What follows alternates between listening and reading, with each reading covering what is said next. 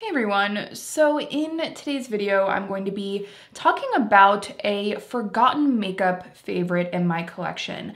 I kind of want to start a series on my channel where I kind of revisit these products that I've loved for a really long time. This is one of those items. I have loved this product since 2016. It is certainly a kind of forgotten makeup favorite because I was using it constantly got distracted, and then I really hadn't used it for years. I picked back up on a whim and I have gone through almost an entire tube of this this summer. So for me, this is almost like a shop my stash kind of video, but more so focusing on items that I think more people need to talk about. And if you're new to my channel, hi, my name's Amanda. This is actually quite an affordable favorite. And if you don't know my stance on affordable makeup, I never recommend something solely because it is affordable. I just across the board recommend products that I absolutely love, whether they are high high end or affordable. For me, it really doesn't matter. I'm looking for quality. I'd love to save money though. Who wouldn't? So if that aligns with you, if you really enjoy that approach, I would love to have you back on my channel. So make sure to subscribe. But without further ado, I want to kind of give a little spotlight to this item that I have been using kind of constantly all summer. This is not a new item. It is the Missha Perfect Cover BB Cream. This was actually one of the first K-beauty products that I ever tried. And also, if you're new to my channel, really, really enjoy K-beauty. And this was one of the first items I ever tried from a K-beauty brand. Misha is definitely like a touchstone Korean brand and I really trust them. I don't know if you guys are gonna be able to hear the ice cream truck. It's kind of loud. Anyway, I don't even know where I left off, but but essentially this was the product that kind of started my love of all things K-beauty, especially when BB creams and CC creams, when these products started to make their way into the market in America, I slowly became more interested in what these kind of like original formulas were all about. A beauty balm essentially is a product that can work to even out the skin tone, um, provide some SPF, but also, you know, have some skincare benefits. And that's kind of the original gist, you know what I mean, of BB creams, CC creams. I don't think we tend to think of them that way anymore, but I do still think that we see within the market brands focusing on skincare focused ingredients within formulas to try and sell them. This BB cream from Missha is a very inexpensive product. I think it's difficult to find it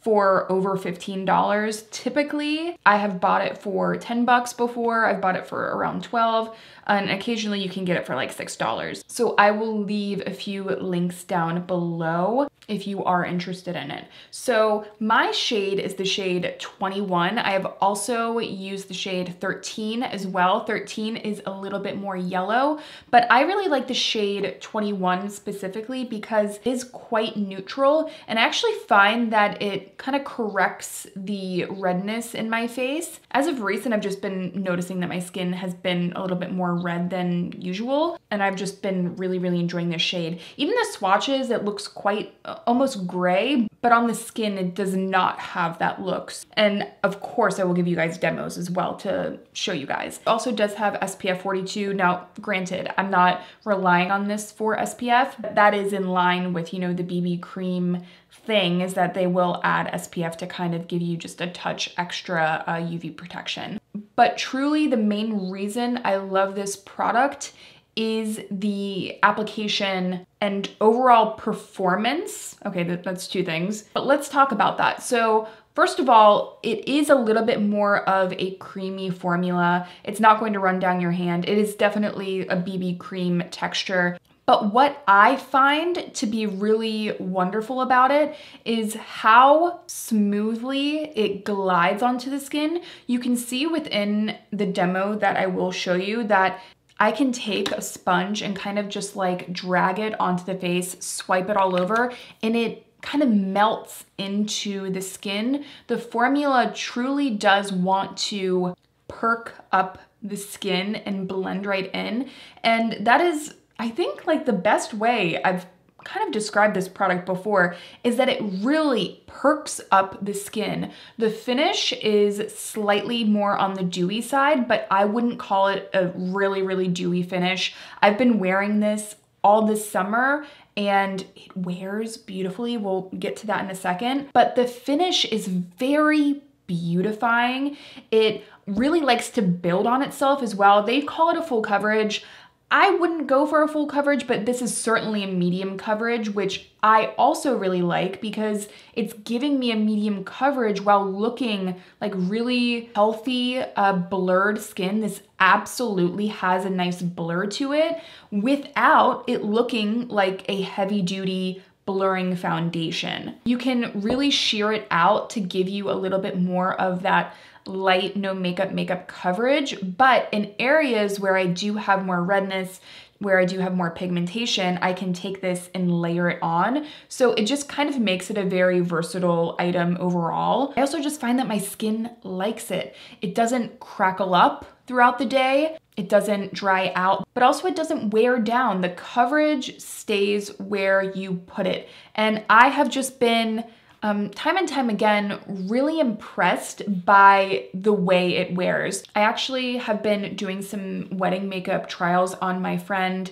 Um, I was using some more heavy duty uh, long wear foundations and just on a whim I decided to try this on her and just set the face with a bit of powder. I used the Kosas Cloud Set and did a little setting spray and I realized that I loved the way it looked even more than the last foundation that we had been trying out. I just think that it's one of those products that tends to look good on a variety of skin types because it has that really nice blur. I think that if you have enlarged pores, you're really going to like it. Again, textural issues, this does really well with textural issues. But if you have more oily skin, I do think with the right prep, you could get away with this. But just keep in mind, it's probably going to be you know, a dewier look for you. This has 1.69 ounces of product, so it also is a lot of product. It comes in this little squeeze tube with a pump, which is great. So there's really not a lot I would change about this. It pretty much hits every single box except one very big box in my opinion. This is kind of the reason why I don't talk about this one a lot on my channel. This just does not have a great shade range.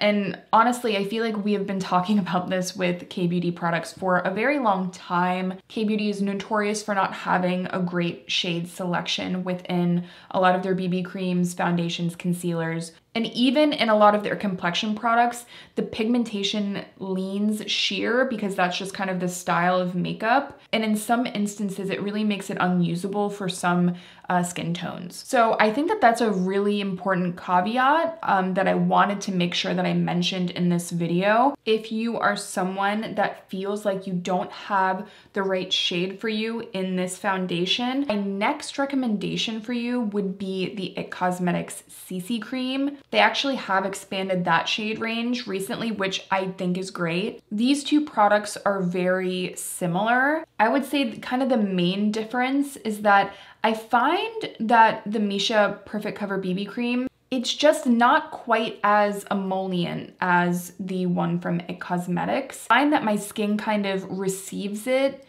differently or it kind of sinks into the skin a little bit more readily than the IT Cosmetics. But over the past month, you know, my makeup routine this summer has been, I think, a little bit different than summers in the past. And really, like, makeup in general for me has been a little bit different this summer. It's been like a transitionary time for me and I have been kind of reaching for items I know I can depend on. And when I pulled this back out, I wore it once and it immediately was incorporated right back into my routine as something that I could count on. And I think there really is something to be said about that. Um, I have, again, I've used almost this entire tube within the past like month and a half. And I just gotta tell you, I mean, you all know how much makeup I have. The fact that I'm going back and being consistently pleased with my makeup when I have this on, I think says a lot. So I've loved this product since 2016. I wanted to pull it back out and give it a shout out on my channel. I hope you guys enjoyed the video. If you would like to continue to see me do these videos, please let me know down below because I'm really interested in your thoughts do you like this kind of forgotten favorites or I don't know, like a very mini shop my stash kind of video? If you do, uh, let me know. I will also leave this down below for you guys. And thank you all so, so much for watching and I'll see you in my next one.